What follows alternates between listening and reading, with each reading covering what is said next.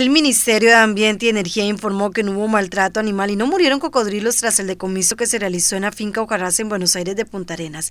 En la institución precisaron que acatando una denuncia a la misma Asociación de Desarrollo Indígena del lugar, dado que se trató de un finquero no indígena que ocupaba tierras dentro del territorio, Precisan que en compañía de médicos veterinarios se realizó el decomiso luego de una investigación que confirmara los hechos y por lo tanto que se trata de una ocupación de esa tierra que viola la ley indígena.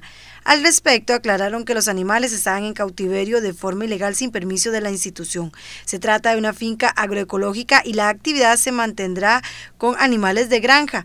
Por lo tanto, este caso no responde a un cierre de un centro de manejo. Sobre este caso, el viceministro de Ambiente, Franklin Paniagua, reiteró que el SINAC está siguiendo un proceso riguroso de cuidado de los animales y se depositan en sitios de manejo seguros y responsables.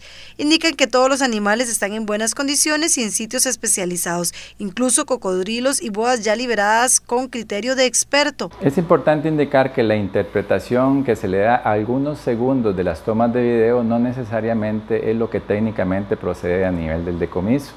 Es importante indicarles en ese sentido que en el caso de los venados, sí se desarrolla una primera captura tratando de utilizar las técnicas a través de redes. Cuando vimos que los animales estaban un poquito estresados, inmediatamente desistimos como institución de poder desarrollar el decomiso bajo esa técnica que también está establecida y procedimos unas dos semanas después a desarrollar la captura con especialistas veterinarios en la materia y los mismos fueron sedados y los mismos fueron trasladados a un centro de manejo donde en este momento están en buenas condiciones y sin ningún daño.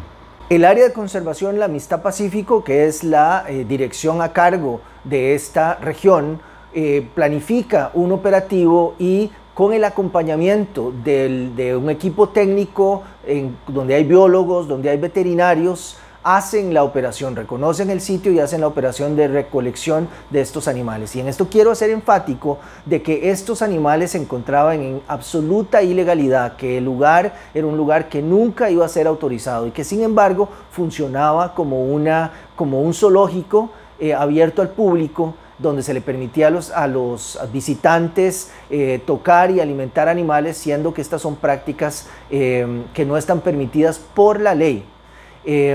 En el operativo se, eh, se, se llevan a cabo las, las, las, pautas eh, seguidas en cualquier otra em, eh, actividad similar del, del, ministerio.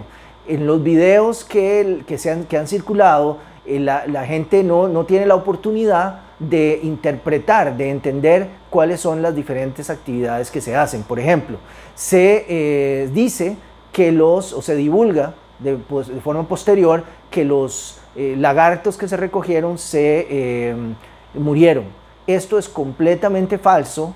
En el caso de, estos animales eh, se le acompañó con un veterinario y fue a través de ese respaldo técnico que se hace una liberación siguiendo un procedimiento preestablecido. Sobre el particular también se dio un informe de la Fundación Restauración de la Naturaleza Rescate Animal Suave, que detalla el buen estado de los animales decomisados. Por lo tanto, aclaran que la información que circula sobre muertes, maltrato o improvisación de parte de las autoridades ambientales es falsa.